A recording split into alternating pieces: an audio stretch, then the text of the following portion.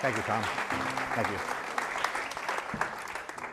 I travel the country making hearing protection for marching bands, industries, big places. We've been now been doing this for five years. We got a patent on this product because of him, University of South Carolina, and uh, Michigan State and University of Delaware. You guys are the first, he was the first one to really bring it to our attention how bad it is. And it's a lot worse than you can ever imagine. A lot of you guys are gonna go on and have a career in music, but because you love music now, you're gonna go have a career in listening to music. It's, we're at a really bad time right now. This entire generation you see around you now is under the bus. It's really, really, really bad. And just to show you how bad it is, if I could have just to how many freshmen do we have in the room? Raise your hands, freshmen. Okay, so you see how many, there's a lot of freshmen in here. Okay, so how many kids in this room, hear how quiet it is? How many kids in this room have ringing in their ears? Raise your hands real high. Put them up real high. Go ahead. Don't be shy. Put your look. I want everybody to now look. Everybody look around here. Okay. This is tinnitus. I'll have it till I die. You're to have it till you die. It gets worse. Okay. We weren't told this when we were growing up. We are told how to balance a checkbook. We are told about safe sex. We are told about all those other things in school.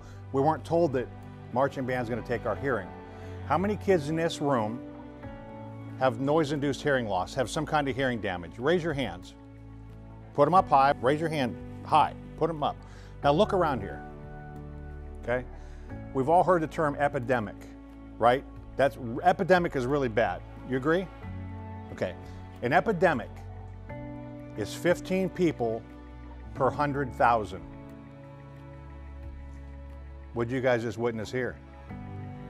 60% of the sample group. What is that? A catastrophic event when we dropped a bomb in Hiroshima, we only got 40% of the people. We got more than 60, 70% of this entire group has this. But like I said, you're under the bus. We have serious problems. All we can do is try to not make it worse. So I'm here today to beg and plead with you guys. We sell a premium product that's patented that allows you to be able to hear the music, hear the color of your notes, hear everything where you are. It's expensive, I know, but I'll help finance it. I'll do whatever I can to help you guys get this product to protect your hearing. So we're out in the hallway. It's $225. Hearing aids are 10 grand. I have them. So there's one more thing that I just got sent to my phone. They're doing a, um, what's his name, the doctor? Okay, do you guys know him? He's paying you guys to go take, to go take hearing tests, okay? I need that result. So if you guys can go take this hearing test and you're going to be involved in a global study that's going to fix this problem for other kids because it's your kids like wearing seat belts. You know, I didn't wear seatbelts when I grew up. A seatbelt was this, okay? We didn't wear bicycle helmets.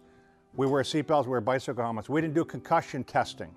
You guys are at ground zero. Everybody in this room is involved in this movement to take care of your kids so that one day when they're coming up through, they'll protect their hearing, they won't need hearing aids. We're all, and, and I promise you this, we're all going to need hearing aids in this room because we got thrown under the bus by just not knowing about it. So I will do whatever we can do to get you guys in hearing protection out there. If you have any further questions one-on-one, protecting your hearing is, is an individual thing. This is a marching band. This is a group thing. But each person has to be responsible for their own hearing because when you're laying in bed at night and it's whistling in your head, you're the one suffering with that. And we're trying to keep that as low as we can. Because I can tell you this, the average band director right now retires at 54 years of age. The reason he retires is he can no longer hear the music correctly and the band doesn't sound good. So he retires. So we've got to fix this. You guys are here. Thank you very much for your time. I really appreciate it.